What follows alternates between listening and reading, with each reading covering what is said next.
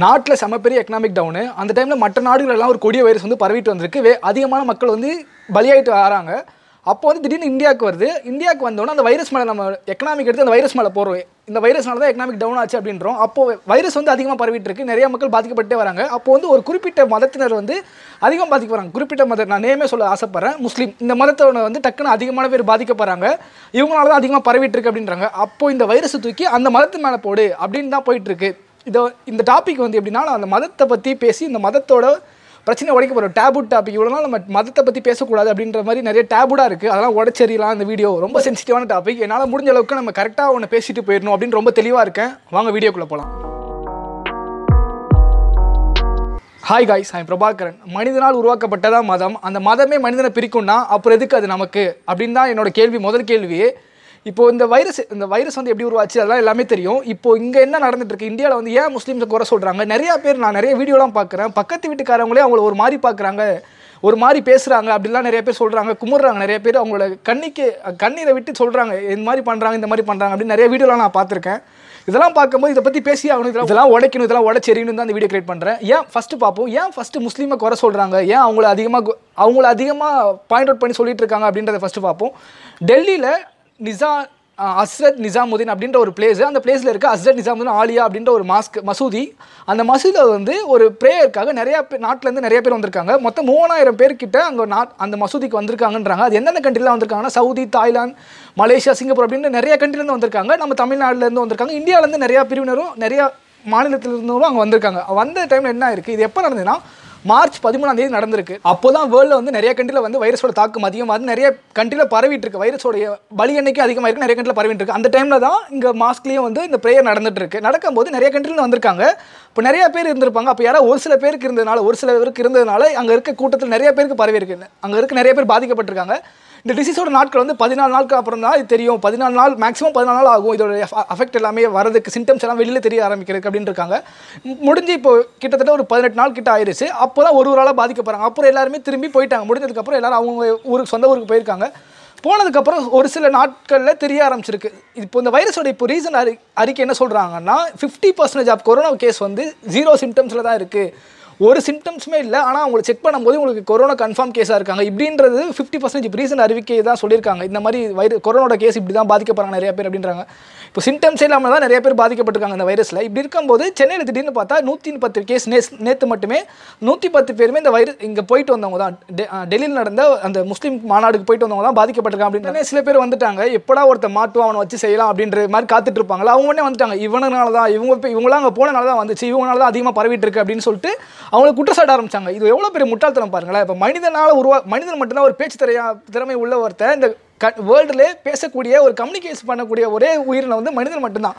இவன் தான் அவள் அதுக்குன்னு பேர் வைக்கிறான். இப்போ மொபைல் ஃபோனுக்கு பேர் வைக்கிறவன் இப்போ டிஷர்ட்னு பேர் வைக்கிறவன் மனிதனுக்கு மனிதனுக்கு பேர் வச்சுக்கிறவன் எல்லாமே மனிதன் பண்ணுற விஷயம் தான். வைரஸ்க்கு கொரோனா வைரஸ்னு பேர் வச்சதே ஒரு மனுஷன் தான். மனிதனுக்கு மட்டும்தான் இந்த பிரிவுன்றதே இருக்குது ஆனால் அந்த வைரஸ் மிருகங்களுக்கு எதுக்குமே இந்த பிரிவுன்றே கிடையாது. நான் எதை பார்த்தாலும் பண்ணுவேன் எதை வேணால் பரவுவேன். அதே மாதிரி தான் வைரஸ் எதை பார்த்தும் ஸ்ப்ரெட் ஆகிட்டு போயிட்டே இருக்கும். அதுக்கு எப்படா வந்தது? ஏதோ வந்துருச்சு. ஏதோ ஒரு கூட்டத்தினால வந்துருச்சு. எங்க எப்படி வேணாலும் நடந்திருக்கலாம். என்ன வேணால் வந்து கூட்டத்தினால அந்த கூட்டத்தினால தான் வந்தது. அது ஒரு ஒரு தப்பாகவே இருந்திருக்காலும் ஆனால் பரவுறது எப்படி வேணால் பரவிருக்கலாம். எந்த விஷயத்தினால வேணால் அது பரவிருக்கலாம். ஆனால் வந்ததுக்கப்புறமும் இவ இவங்களால தான் வந்துச்சு. இவங்க தான் காரணம். இவங்களால தான் தம் இந்தியா ஃபுல்லாக ஸ்ப்ரெட் ஆக காரணமே இவங்க தான் அப்படின்னு சொல்லிட்டு குற்றச்சாட்டு ரொம்ப பெரிய தப்பு. அப்போ அப்படி பார்க்க போனால் சைனாவில் தான் அந்த வைரஸ் வந்து ஃபஸ்ட்டு உருவாச்சு. சைனா வந்து ஒரு புத்திஸ்ட் கண்ட்ரி புத்த மதத்துக்கு அதிகமாக இருக்க ஒரு ஊடு அப்போ புத்திஸ் புத்திஸ்ட் தான் வந்து பரப்பினாங்க அப்படி சொல்லலாம். அப்போ அப்படியே பார்க்க போனால் இத்தாலி இத்தாலி தான் அதிகமாக டெத் ஃபவுண்ட் ஆகிற கண்ட்ரி வந்து இத்தாலி. இட்டாலி தான் அதிகமாக பேர் இறந்துருக்காங்க. அப்போ இட்டாலி வந்து ஒரு கிறிஸ்டினாட்டி கண்ட்ரி கிறிஸ்டின் வந்து அது அதிகமாக இருக்க ஒரு கண்ட்ரி யூஎஸ் அதே மாதிரி தான் கிறிஸ்டின் அதிகமாக இருக்க கண்ட்ரி அப்போ கிறிஸ்டின் நல்லா பரவச்சா? அப்படி இங்கே வந்தால் கேரளாவில் ஒரு ஃபஸ்ட்டு இந்தியாவுக்கு எப்படி வைரஸ் வந்துச்சுன்னா கேரளாவில் கேரளாவில் ஒரு மாணவிக்கு ஏற்பட்டு தான் இந்தியாவில் வைரஸ் ஸ்ப்ரெட் ஆச்சு. அப்போ கேரளாவில் பாதிக்கப்பட்ட பெண் வந்து ஒரு இந்து அப்போ அந்த ஹிந்துனால தான் அதிகமாக ஸ்ப்ரெட் ஆச்சா? அப்படியே இந்தியான்னு எடுத்துட்டா இந்தியாவில் வந்து ரெண்டாயிரம் பேர் பட்ட மேலே பட்ட ரெண்டாயிரத்துக்கு மேலே பாதிக்கப்பட்டிருக்காங்க. பாதிக்கப்பட்டதில் வந்து ஒரு ஆயிரத்தி ஐநூறு மேலே பட்டவங்க ஹிந்து தான் அதிகமாக இருக்காங்க. அப்போ ஹிந்துனால தான் அதிகமாக ஸ்ப்ரெட் ஆகுது இந்தியாவில் அப்படின்னு ஒரு கொஸ்டின் இருக்குது ஏன் இவ்வளோ விஷயம் நம்ம வந்து ஒரு மதத்தை வச்சு பேசிக்கிட்டு இருக்கோம்? மதம் இப்போ மதம்ன்றதே ஒரு நம்பிக்கை தான் ஏதோ ஒரு வருஷத்துக்கு முன்னாடி எத்தனையோ வருஷத்துக்கு முன்னாடி ஒருத்தர் நம்பிட்டு போனதான் இப்போ மதம் இது வந்து ஒரு பிலீவ் தான் மதம்ன்றது. இது எவ்வளோ வருஷத்துக்கு முன்னாடி ஒரு ரெண்டா இப்போ ஒரு ஒரு மதத்துக்கும் ஒரு ஒரு இயர் இருக்குது அந்த இயருக்கு முன்னாடி வந்து ஒருத்தனால நான் ம- நம்பப்பட்டது தான். ஒருத்தனால இப்போ நான் இருக்கேன் நான் ரெண்டாயிரம் வருஷத்துக்கு முன்னாடி நான் வாழ்ந்துட்டு இருக்கேன். வாழும்போது நான் ஒருத்தர் நம்புகிறேன் அவர் எனக்கு பிடிச்சிருக்கு அவர் நான் நம்புறேன். அவர் நம்பினவொன்னே என்னோட கூட இருக்கவங்களே அவர் நம்ப வைக்கிறேன். அவரோட பெருமை எல்லாத்தையும் சொல்கிறேன் சொல்லிட்டு நம்ப வைக்கிறேன். நம்பினதுக்கப்புறம் அது அப்படியே ஒரு கூட்டமாக ஃபார்ம் ஆகுது. அவரை நம்பி ஒரு கூட்டம் ஃபார்ம் ஆகுது. அது அப்படியே காலங்கள் மாற மாற மாற அந்த கூட்டம் வந்து பெ- அதிகமாயிட்டே போகுது. அதுதான் மதமாக மாறுது. சரிங்களா? இதுதான் மதம்ன்ற உருவானது காரணமே. இதை வச்சு நம்ம இவ்வளோ நாள் வந்து பாலிடிக்ஸ் பண்ணிட்டு எல்லாமே பண்ணிட்டோம். இன்னமும் அதை நம்பிட்டு இப்போ வந்து ரெண்டாயிரத்தி இருபதில் வாழ்ந்துட்டுருக்கோம் நம்ம. இரு ரெண்டா இப்போ ஒரு மதம் ஏதோ ஒரு மதம் உருவாச்சு. அந்த மதத்தை கேலண்டர் அடிப்படையில் தான் நம்ம ரெண்டாயிரத்தி இருபதுன்னு சொல்கிறோம் இவ்வளோ நாள் உருவாயிருச்சு. ஒரு மதத்தை சொல்லிட்டு இருக்கோம். இப்போ ரெண்டாயிரத்தி இருபது செம்ம பெரிய டெக்னாலஜியில் இருக்கும். என்னென்னமோ பண்ணி- பண்ணிட்டு இருக்கோம். என்னென்னமோ யோசிக்கிற திறமை இருக்குது என்னென்னமோ பண்ண தோணுது. நம்ம ஒரு நிமிஷத்தில் என்ன பண்ணுறோம் அப்போ இருந்து இப்போ ஒரு இஞ்சி போனால் நூறு வருஷத்துக்கு முன்னாடி இருந்தவங்களுக்கும் இதுக்கும் எவ்வளோ டிஃப்ரெண்ட் ஒரு விறகு கட்டையில் சாப்பாடு செஞ்சுட்டு டைமில் இப்போ ஒரு காற்றை வச்சு சாப்பாடு செஞ்சுட்டு இருக்கோம். நெருப்பை உருவாக்கிட்டு இருக்கோம். அவ்வளோ அட்வான்ஸாக போயிட்டோம். இன்னமும் ஒரு மதம். ஏதோ ஒரு நம்பத்தில் யாரோ எப்பயோ நம்பினதை இன்னும் நம்ம அதை ஃபாலோ பண்ணிட்டுருக்கோம் ஏன் நம்பணும்? இப்போ நான் இருக்கேன்னா என் பையனுக்கு நான் திணிக்கவே மாட்டேன். கண்டிப்பாக நான் ஒருத்தர் நம்பிட்டு இருக்கேன். இப்போ நான் இருக்கிறது யாரோ ஒருத்தர் நம்பிட்டு இருக்கேன். யார் வேணால் நம்பிட்டு இருப்பேன். எனக்கு அந்த நம்பிக்கை பிடிச்சிருக்கு. அவரோட கோட்பாடுகளை பிடிச்சிருக்கு. நம்பிட்டு இருக்கேன். இப்போ என் பையனுக்கு வந்தால் நான் கண்டிப்பாக திணிக்க மாட்டேன். உனக்கு பிடிச்சதை பண்ணுறா நீ என்னமோ பண்ண போறியா? பண்ணுறா உனக்கு யாரை பிடிச்சிருக்கு? எல்லாத்தையும் சொல்லுவேன். இந்த மாதிரி ஒரு இடத்துல சொல்கிறாங்க யார் பிடிச்சிருக்கா உனக்கு? அவங்கள நீ ஃபாலோ பண்ணு. பிலீவ் மதம்ன்றது ஒன்று நம் உருவானதே பிலீவ்னால தான் உருவாச்சு. அந்த பிலீஃப் ஏன் நம்ம நம்பணும்? நம்ம ஏன் அடுத்தவங்களுக்கு அது திணிக்கணும்? அதான் நான் என்னோட கேள்வி.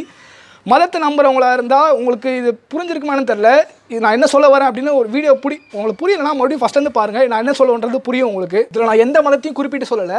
இப்போ நான் இயர் யூஸ் பண்ணியிருப்பேன். ரெண்டாயிரம் அப்படின்னு யூஸ் பண்ணியிருப்பேன். அப்படி யூஸ் பண்ணியிருக்கும் போது நான் அது பொதுவாக தான் சொன்னேன். ஏன்னா இப்போ நம்ம ரெண்டாயிரத்தி இருபதில் வாழ்ந்துட்டு இருக்கோம் இது ஒரு காலங்கள் அடிப்படையில் தான் நம்ம சொல்ல முடியும். அதனால தான் ஒரு ரெண்டாயிரம் வருஷம் முன்னாடி அப்படின்னு ஒரு பொதுவாக ஒரு நம்பரை சொன்னேன். இதனால் எந்த பர்டிகுலர் மதத்தை தான் குறிப்பிடும் அப்படின்னு எந்த எதுவுமே முட்டாள்தனமாக எடுத்துக்காதீங்க. இப்போ அப்படியே பாருங்களேன். மனிதன் மக் மனிதனாக வாழ்கிற ஒரு தருணம் இது. ஏன்னா ஒரு இயற்கை இயற்கை வந்து மனிதனை என்ன வேணால் பண்ணும் அப்படின்ற ஒரு அறிகுறி தான் இது. இயற்கையால் மனிதனை என்ன வேணால் பண்ண முடியும். இங்கே வாழ்கிற உயிர்களை என்ன வேணால் பண்ண முடியும் இயற்கை நினச்சா அப்படின்றது அந்த வைரஸோட கோட்பாடு. இதை நம்ம புரிஞ்சிக்காமல் இன்னமும் மதம் வெறி அது இதுன்னு இருந்தால் இது எவ்வளோ பெரிய முட்டாள்தனம் பாருங்களேன். மண்ணாங்கட்டி மாதிரி நினச்சிட்டு வாழ்ந்துட்டு இருக்கோம் ரொம்ப முட்டாள்தனமான விஷயம் இது. இப்பயாவது திரு மாறுவோம் மாற்றப்படுவோம். இப்பயும் நிறைய பேர் எடுத்து போய் சொல்லுவோம்.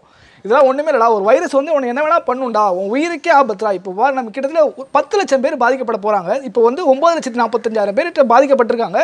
அதில் நாற்பத்தெட்டாயிரம் பேர் ஐம்பதாயிரம் பேர் கிட்ட நாற்பத்தெட்டாயிரம் பேர் வந்து இறந்துருக்காங்க. அதில் ரெண்டு லட்சம் பேர் பா காப்பாற்றப்பட்டிருக்காங்க அதுலேருந்து வைரஸ் வந்து வெளியே வந்திருக்காங்க.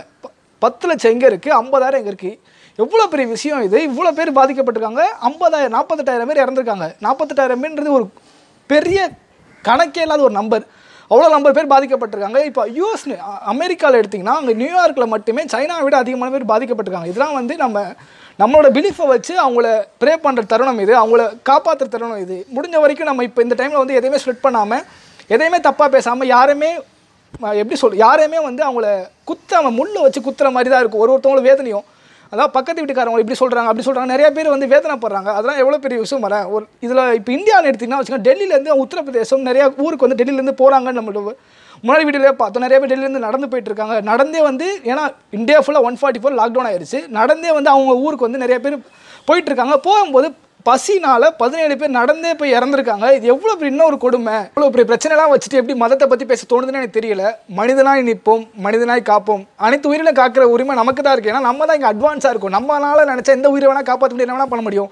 அதுக்கு மனிதனாக தான் நிற்கணும் இதில் மதத்தால் நிற்கணும் நாட்டால் நிற்கணும் எதுவுமே இல்லை. நாடு பார்டர் அப்படிலாம் இருக்கிறதுக்கு ரீசன் என்னென்னா ஒரு சின்ன ஒரு குறிப்பிட்ட உள்ள இருந்தால் தான் ஒருத்தரால் ஆட்சி புரிய முடியும் அவங்க சேவை தேவையானதெல்லாம் ஒருத்தர் கொடுக்க முடியும். இப்போ ஒரு பெரிய இப்போ வேர்ல்டு ஃபுல்லாக சேர்த்து ஒருத்தரே பண்ணணும் அப்படின்னா ரொம்ப பெரிய கஷ்டமான விஷயம். வேர்ல்டு ஃபுல்லாக எழுநூறு கோடி பேர் இருக்கும். அதுக்கு ஒருத்தர் தான் ஆட்சி புரியணும் ஒருத்தர் தலைமை தாங்கணும்னா ரொம்ப கஷ்டமான விஷயம். அதுக்கு தான் நம்ம பார்டர்னு ஒன்று பிரித்து வச்சிருக்கோம். நாடு நாட்டுக்குள்ளே இருக்க சின்ன சின்ன குறுநிலமாக பிரித்து வச்சுட்ருக்கோம் இதுதான் இதுதான் கான்செப்ட் இதை புரிஞ்சிக்காமல் நம்ம அப்படி நிற்கணும் அப்படி நிற்கணும் போட்டி பொறாமன்னு வாழ்ந்துட்டு இருந்தால் வாழ்கிற வாழ்க்கையே வேஸ்ட்டு தான். நாம் எல்லாம் சில காலம் அப்படின்ற மாதிரி தான் நம்ம வாழ போகிற காலமே கொஞ்ச நாள் தான். அதுக்குள்ளே ஏன் இவ்வளோ பெரிய விஷயத்தை பண்ணிட்டு போகணும் நல்லா இருந்துட்டு நல்லபடியாக இருந்துட்டு போயிடுவோம் இது ரஜினி டைலாக் ஒன்று பார்த்தோம். என் தாத்தனும் பாட்டனும் வந்தார்கள் போனார்கள். நானும் எப்பனும் வாழ்ந்து கொண்டிருக்கிறோம். என் பேரன் பேர் என் பிள்ளையும் பேரனும் வரப்போகிறார்கள். அப்படி தான் ஒரு வாழ்க்கையே வாழ்க்கை முறையே அவ்வளோதான் இந்த மாதிரி சமுதாயத்தில் நிறைய விஷயங்கள் வந்து பேசக்கூடாது டேபுன்னு சொல்லிட்டு ஒதுக்கி வச்சுட்டு இருக்கோம். இதெல்லாத்தையும் நான் உடச்சரிவேன் அதுக்கு உங்கள் சப்போர்ட் எனக்கு தேவை.